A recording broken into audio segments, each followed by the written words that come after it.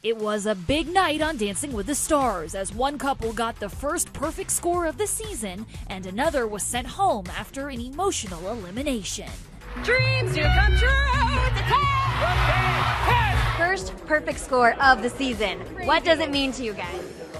I mean, it's crazy. A samba, like week three, I thought for sure it was like this is our time to like dip down a little, you know. But like, so nuts. Like the fact that Len is speechless.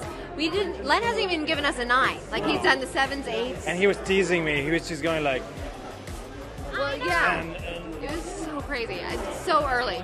You got a standing O from him. I know, I know. And and what I don't know if people know this, but samba is one of the hardest dances. So I was Yeah, for sure is. thinking this is probably gonna be. You know, yeah, you take a little dip, which is fine. Because that's what we're gonna do. We're gonna So maybe I'm take dips. still like I can't believe it. To top yourself? Do you feel an extra pressure now, knowing that you got that perfect score so early on? I just I tell him though. I say every week, like now the slate is clear again.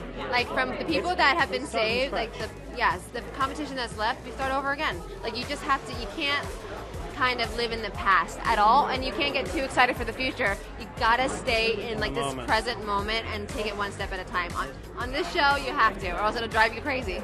She told me that from the second we met, like one step at a time, and Like, I, I understand it. I'm yeah. actually understanding it now. Yeah, You know, it's to. click. It's like, yep, yeah. So I'm not even gonna think about tomorrow. No. While Juan Pablo and Cheryl clearly had a lot to celebrate, there wasn't such happy news for another dancing pair. The couple leaving us is Nancy and Val. The heartbreaking elimination left Nancy speechless. He's just